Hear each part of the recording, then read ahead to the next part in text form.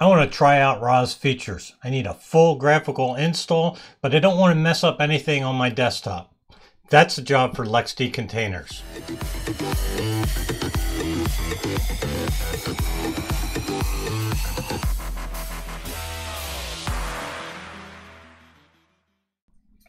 In this video, we're going to walk through installing ROS in a LXD container.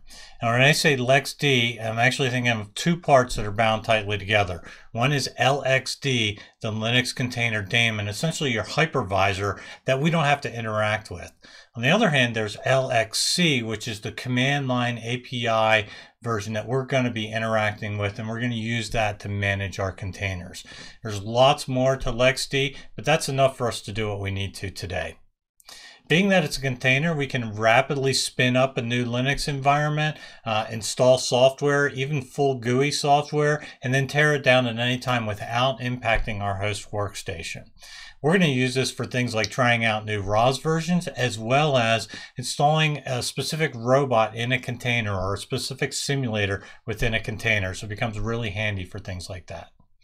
Prerequisites are simply that you have LXD installed. If you have any questions on how to install it, head on over to linuxcontainers.org. It's the landing site for LXD and follow the instructions over there.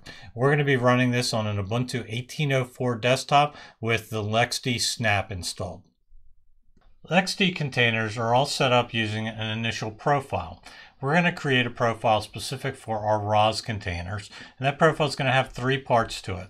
First of all, it's going to enable a graphical environment for X Windows so we can install tools and use tools like RQT and RViz. Second, we need to configure the network connection so the container connects to our robot network. And finally, we need to enable the ROS software repository so we can simply add ROS software at any time. So we'll start by opening up a terminal window and then go ahead and create a new LXD profile. We'll call the profile ROS uh, and then go ahead and edit it. Uh, and first thing we want to do is add an environment variable for our X Windows display.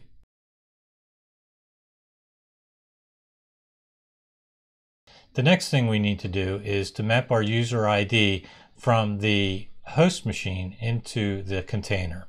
In the container, we know we're going to be using ID 1000, the Ubuntu user. So let's see what our ID is on the host. As you can see, mine is 1000. I have uh, other accounts on here. So I'm going to map the user ID of 1001 on my host to the user ID of 1000 on the container. Next step is to add the repositories for ROS. We're going to do this using the user data section in the LXD configuration file, profile config. This is essentially just cloud init commands. Uh, and there's a section here where we can add uh, an actual command to run as the container is initialized. So we're going to go ahead and add the key, first of all, for the repositories. And then we're going to add two repositories. One is a repository for ROS1 and the other is repository for ROS2. That way we can use the same profile for both ROS1 and ROS2.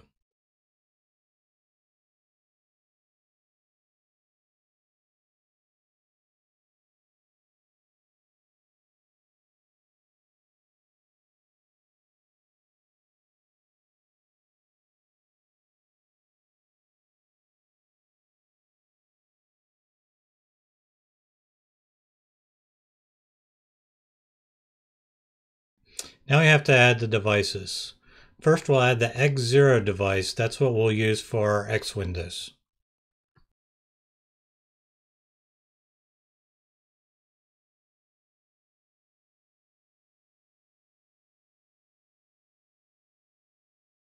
If you happen to have more than one video card on your host machine, you may want to take a look uh, to make sure that X0 is the right device.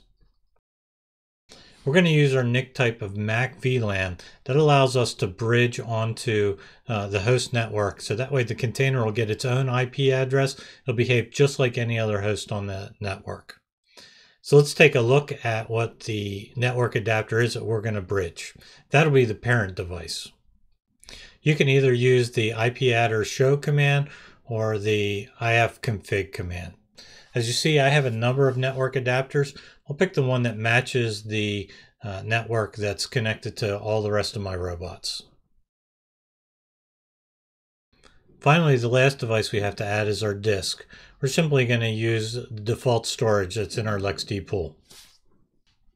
Go ahead and save the profile and we can use it to create a container.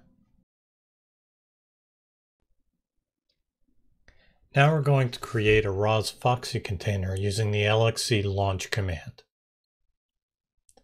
Use the dash P switch to specify the ROS profile that we just created. Then we're going to instantiate an Ubuntu 2004 image. Now that the container is created, we'll use LXC exec to open a bash shell inside the container. As you can see, by default, the shell opens under the root user, but we've configured things to operate under the Ubuntu user, so we're going to actually sue into the Ubuntu account. Since we've set up the repositories, we can now just go ahead and install the ROS Foxy desktop.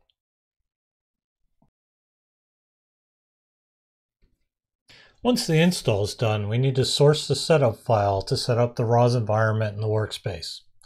Since this container will always be used to run ROS Foxy, let's just add that to our bash RC file, so that way it'll be included every time we use the container. Source the bash RC, and we're ready to try out a few of the graphical applications in the ROS toolset.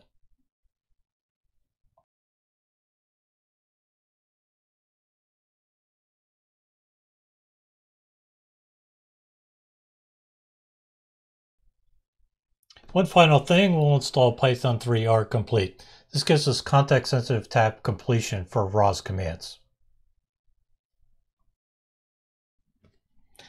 Now that we have a good ROS profile created, it's pretty straightforward to create a new container with a different version of Ubuntu and a different version of ROS installed.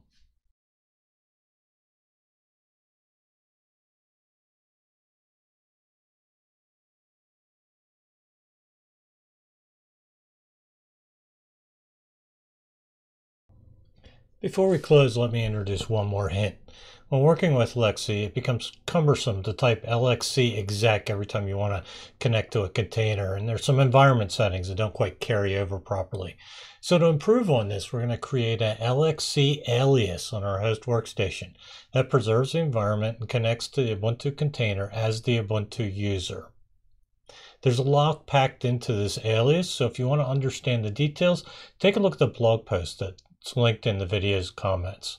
But from here on, we can connect to containers just simply using the command lxc ubuntu and then the name of the container.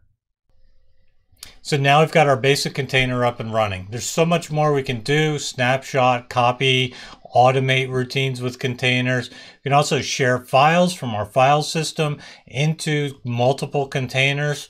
More importantly, for our needs, we can also map USB devices into containers. That means you can connect your robot and drive it from a container.